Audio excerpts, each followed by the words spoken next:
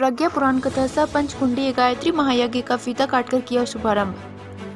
प्रतापपुर प्रखंड मुख्यालय प्रतापपुर के तेली टोला मोहल्ले में सोमवार को पाँच दिवसीय प्रज्ञा पुराण कथा सह पंचकुंडी गायत्री महायज्ञ का उद्घाटन किया गया।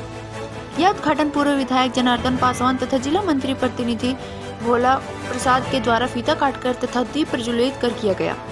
उद्घाटन के इस मौके पर सांसद प्रतिनिधि सत्येंद्र पासवान, प्रतापपुर उप प्रमुख प्रतिनिधि हजारी प्रसाद, प्रतापपुर मुख्य प्रतिनिधि रविंद्र कुमार राबो तथा बभने मुखिया संगीता देवी सहित कई गणमान्य लोगों के द्वारा भी दीप प्रज्वलित कर कथा पुष्प अर्पित कर किया गया।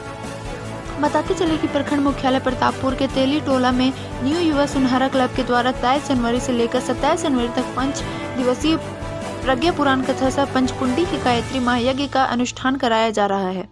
इस धार्मिक अनुष्ठान में प्रवचन के लिए शांति कुंज से पधारे राष्ट्रीय वक्ता श्रद्धेय आचार्य गौरीश कुमार पांडे जी का प्रवचन का लाभ श्रद्धालु गण पंचों दिन उठाएँगे।